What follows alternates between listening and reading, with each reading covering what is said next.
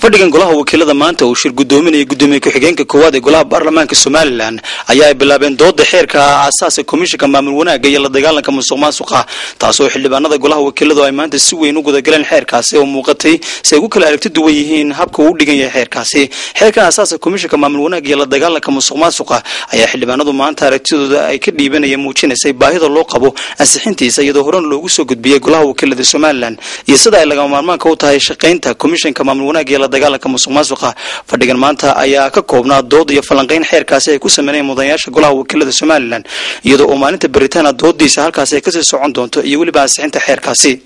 dhanka kalena xildhibaan maxamed jaamac oo ka mid a golaha wakiilada somalilan ayaa waraysi khaasa uu siiyey t v-ga qaranka kaga warramay hadalla muddooyinka dambe ku soo noqnoqonaya warbaahinta kaasi oo sheegayay in gudoomiyaha golaha wakiilada somalilan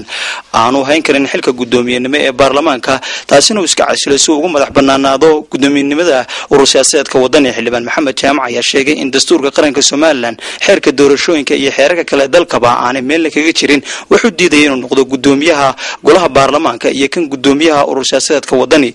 balse ay tilmaamay in arrintaasi tahay dhaleecayn ka dhanaan guddoomiyaha taasi oo loo baahan yahay in wax xaqiiqa aan la sheegin. Warbaahinta hadday noqoto iyo nimanka siyaasiyiinta lafahantoodaba waxaana uu sheegay in ay warbaahintu arrintaasi iska hubiso. Sidoo kale mar aan wax ka weydiinay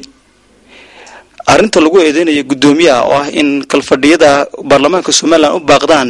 guddoomiyaha oo ku mashquulay arrinta urur siyaasadeedka wadani ayaa uu sheegay in aan golaha wakiilada somalilan aanu ahayn mid u istaagi karaa qof keliya ta islamarkaasina ay jiraan guddoomiye ku-xigeenka koowaad iyo labaad kuwaasoo shaqadoodu tahay inay hawsha golaha baarlamaanka sii wadaan haddii uu guddoomiyuhu maqnaado